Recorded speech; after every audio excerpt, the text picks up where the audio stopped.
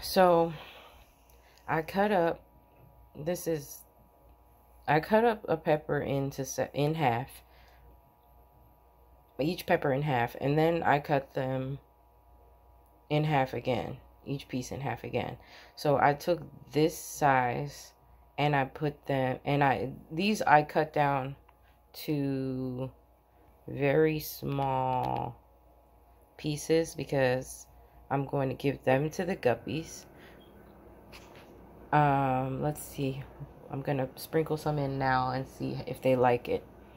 Uh, but I initially cut it, cut some sweet peppers up, mini sweet peppers up for the Plecos and the shrimp because they've been eating whatever that's that they find, but this is not what they really prefer. Like the Plecos prefer to eat veggies, so I'm gonna see how they take to it, and I'll show you where I put them because they said you can put them in Pleco feeders, and I'm like, ah, I gotta rig something up, so I'll show you what I rigged up. So we're here with the guppies. They might, the chunks might be a little too big. Dang, they sunk. Okay, I didn't expect them to sink. Because the bigger pieces didn't sink. Why is this light so messed up? Okay.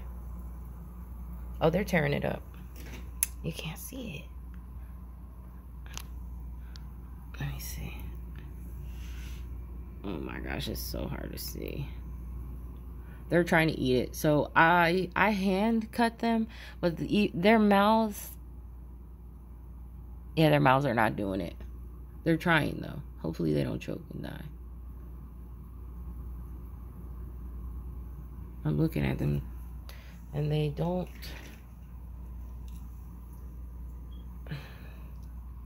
They're excited about it. So my that's gonna have to stay. What I'll do is the remainder I will put over on this side of the tank, but I'll put them in the Ninja and chop them down real small.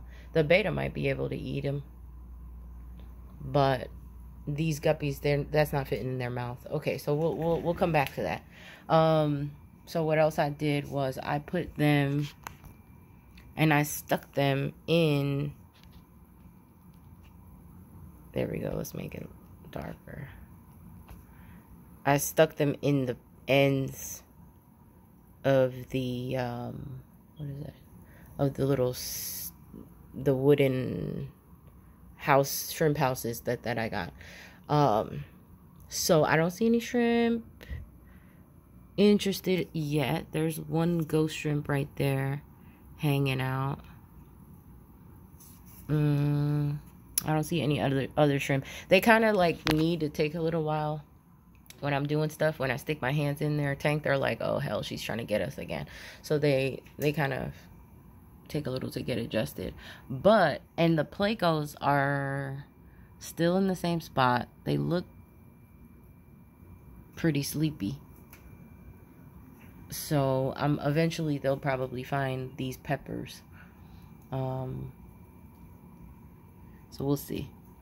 But I'm thinking that like the colorful veggies will brighten up the colors of the um of the guppies as well and give them they're clearly interested. So um i used a paring knife to cut these small chunks and i thought that would be small enough but it's probably better for you to use the little cup option on the ninja or whatever food processor you have and make sure that the pieces are really fine so that that way they can eat them um, when you give them a lot of protein, as you know, if you eat a lot of protein, you kind of want to take in some veggies so that you don't have your poop compacted.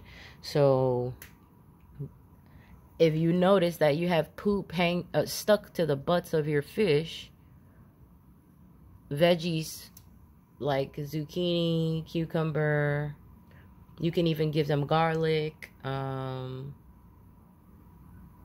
I'm about to do that right now, and I'll just throw little pe one piece of garlic in with the rest of the, the three the tricolor sweet peppers, and then I'll blend them down into a nice little fine feed and I'll throw that in there because today they got they they're getting taken care of hardcore today because I've just been giving them the feeder food and their poop is just kind of like stuck to their butts And I know that they probably just need some veggies. So I'm going to do that.